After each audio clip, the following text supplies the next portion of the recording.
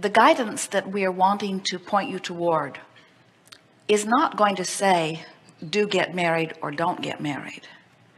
The guidance that we want you to listen for is in response to the thoughts that you are thinking more than it is the action that you are taking. In other words if you look at this person that you are considering marrying or not marrying and you say things such as you are inappropriate in such and such a way. Your guidance is telling you this thought is not good for you. And you say well whether the thought's good for me or not should I marry this person? And we say we want you to ask different questions. Rather than what should I do we want you to follow the thought of your source. And the thought of that source within you is looking for things to appreciate we know that guidance always sounds like should I go this way or should I go this way? When you understand that the guidance is about the direction of your thought and you deliberately choose the better feeling thought the better feeling thought the better feeling thought that what begins to happen is that you get going with the flow so well that questions about what to do answer themselves easily because it is so very obvious what to do in other words when you get out of the maelstrom and you begin going with the flow the flow carries you in such a way that you would say to us something more like Abraham I really don't give a rip what you think. This is what I'm going to do. The confusion goes away when the resistance goes away. And so did you get that? It's really an important thing. When you say well never mind what I'm going to do. How am I going to think about this. And you choose a better feeling thought and you do it consistently about any subject especially this subject. As you do that more and more consistently what happens is the stream is flowing so smoothly and you are so well placed within it that all of the chaos and confusion from your life lifts from you and you have clarity about what to do give us an example of some of the thoughts that go through your mind relative to this relationship. Okay. I would like to buy a house and financially he's not in that position so I don't feel he's my financial equal. So I get caught up in thinking that maybe that I'm settling. I'm not proud of these thoughts but this is what I think. I should have a partner that I can have a dream with which would be uh, to buy a home which I really would like. All right so let's dissect this a little bit. So you're saying through my life experience I've lived in a lot of places and having done so I've given birth through a series of rockets of desires to a dream life and a dream house. And as I hold that vision and I look at you you don't match and so you may not be the one.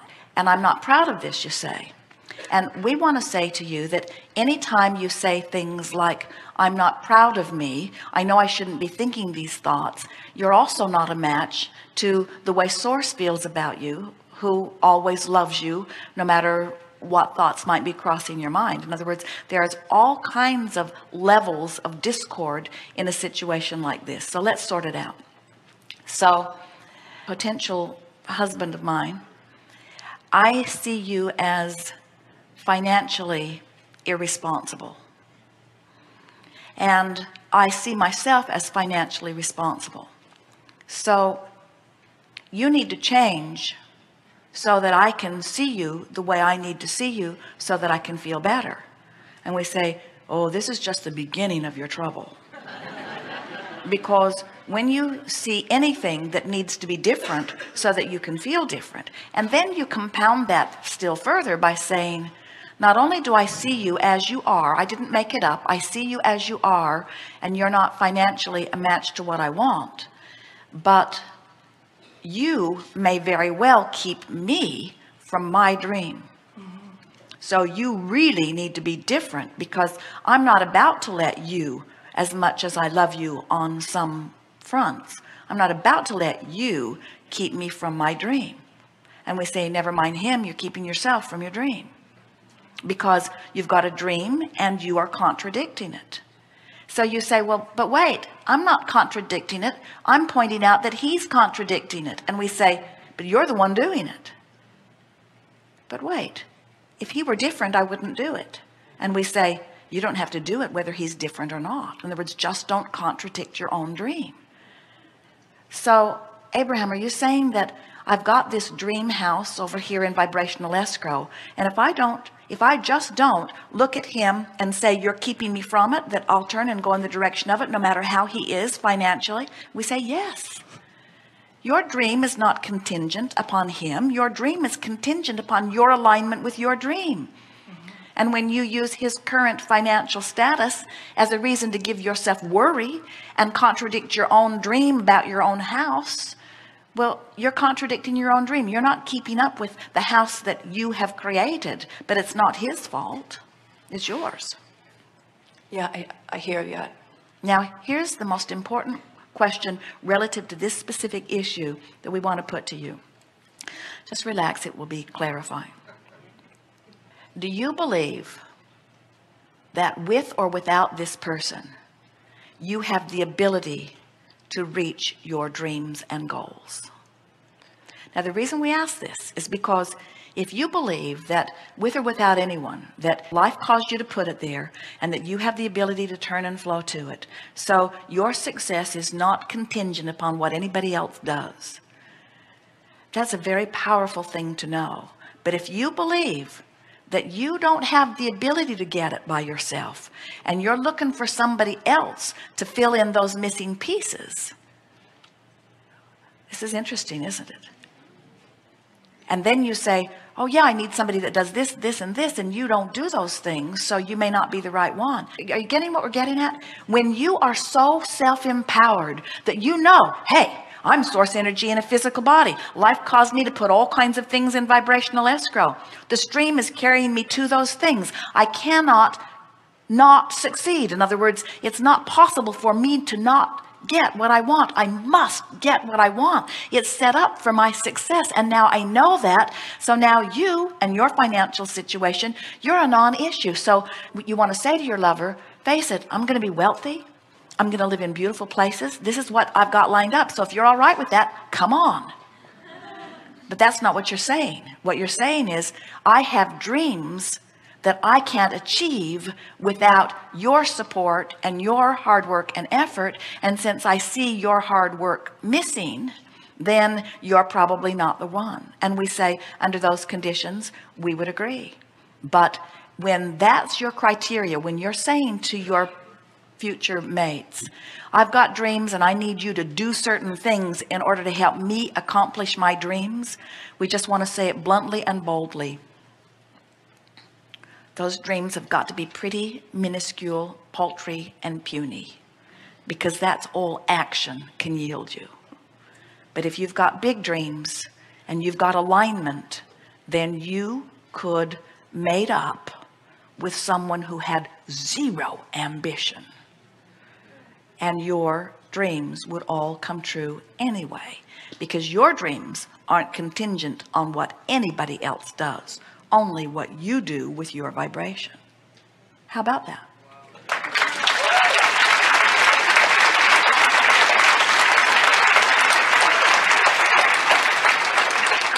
So you want to you want to say to everybody who's in your life, I'm a happy person, deal with it. I'm a successful person, deal with it. What I want always comes to be. I don't stand in my own way anymore and you never could, so everything's good with me. And then you start making your love decisions on the things that really matter like are you easy to love? Do I love you? Do you make my heart sing? Do you match the criteria that I've launched into vibrational escrow about that? Are you kind? Are you clear-minded? Do you have a zest for life do you smile easily? Do you laugh easily? Do you want to love? Does loving come easily to you? And we got to tell you every person on the planet is that person if they're not bucking the current and going upstream. So when you stop bucking the current and begin going downstream then through the clarity of your example you can teach anyone to go with the flow. So we think that maybe what you're grappling with here more than anything is does this person feel like someone who's likely to start going with the flow anytime soon or does this person feel like someone who's going to be really resistant to that And we say, time will tell. You don't have to make this decision today. Just play with it. You go with the flow. And you know what we've noticed? The more you go with the flow, the faster your stream flows, the more you flow with it, the more those who are going with you have to stay up with you going with your flow. So there's really not anything for you to worry about. You don't have to worry about breaking up because if you're going with the flow and the other one isn't, there's distance going between you. In other words, isn't that nice to know? I don't have to issue a warning. You're not going with the flow. I'm 27 miles downstream. I don't know how much longer we can maintain this relationship. I can hardly see you anymore. Law of attraction takes care of it, you see. But most of you don't play it that way. Most of you go with the flow and then you look back and you say, wait a minute, you're not going with the flow. And then you know what? You're not either. So now, because you're not going with the flow, I'm not going with the flow. And I'm pretty irritated about that. I've got to tell you, you're keeping me from going with the flow. You're holding me back from everything that I have become. And we say, no, he isn't. Just go with the flow. And when you get going with the flow, we promise you, you'll bump into others who are going with the flow. And you won't have this issue. But what about him?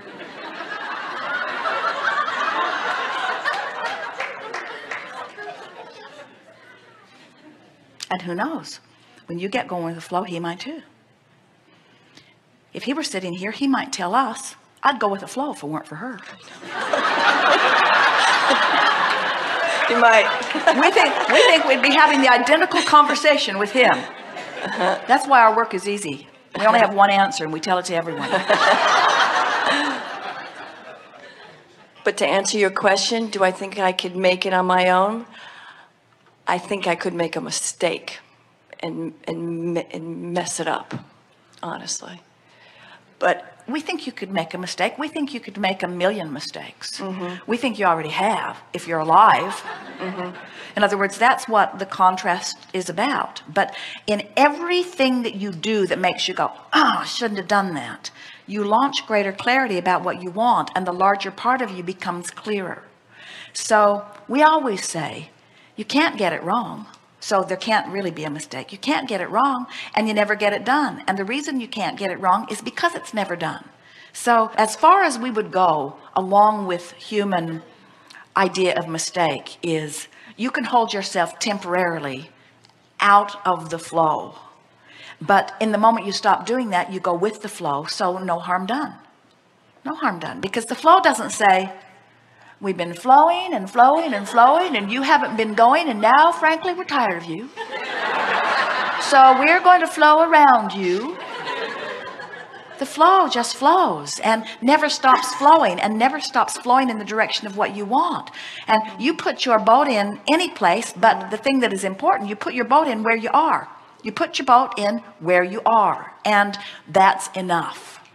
We want to say this in a way that you'll really hear it. It's enough that you're putting your boat in right where you are. And you know why it's enough?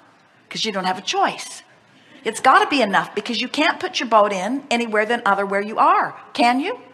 You can't. You are where you are. So right now you don't have as much money as you want and you've got dreams about a house, but you're not able to manifest them. And you've got a partner who's so lovely on so many fronts and not so good on some fronts, but you are where you are, you are where you are, you are where you are. So you're putting your boat in, you have no choice. So not only is it enough, it's got to be enough because it's all you can do. But you do have a choice about whether you complain or expect good things. You do have a choice about whether you worry about the future or look forward toward the future. You do have a choice about whether you beat up on yourself or praise yourself or beat up on your partner or praise your partner. In other words, that's the choice you've got. Upstream or downstream, that's the only choice you've got. And when you consistently begin to make more and more downstream choices, that means life gets funner, life gets fuller, life gets better. You feel better. Oh, you see these guys in these canoes with the oars and they're in those raging rivers and they're just going with the flow. It's not beating them up. In other words, it's like they can't find a river that's too fast for them. And you're that way too. You cannot find a stream that's too fast for you when you learn to let go of resistance and just let the stream carry you. Ah, what a ride that is. That's what you came for. You came for that ride.